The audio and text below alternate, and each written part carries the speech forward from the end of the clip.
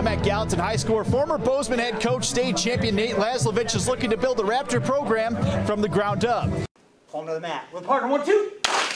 It's work. We have real tough kids. They're going to be they're going to be tough. They're going to brawl. Um, our coaches are real tough guys. Like everybody in here, it's just kind of that that kind of environment. Coming over from Bozeman High, it's been a smooth transition given that Laslovich has coached most of these kids before double city. Smooth, right? you know, I mean, they know me, they know my style, um, they know the other coaches, and I think that's more important, like, they know all these assistant coaches. Shoulder right in the middle, back spin. Speaking of assistant coaches, Hunter Chandler, the head football coach, is an assistant for the wrestling team. I mean, he's as good as they come. You can't get a better football coach, can't get a better, um, he's like an outstanding wrestling coach. I'm just lucky that he's around, and uh, yeah, I totally lucked out.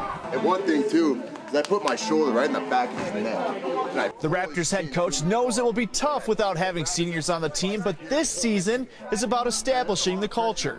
Wins and losses come and go, but you know them feeling good about being on a team and being excited about it and having that culture and not sitting there just thinking about themselves. I think that's what we want to breed. The Gallatin wrestlers have already embraced that underdog mentality. Might as well go all out. I mean, we really have nothing to lose. First year. We'll be the underdogs. Uh, like they say, a team with nothing to lose is a team you should be feared, feared of the most. And yeah, we just got nothing to lose. We're going to give it our all. Trip. Finish on top. For the partner. One, two.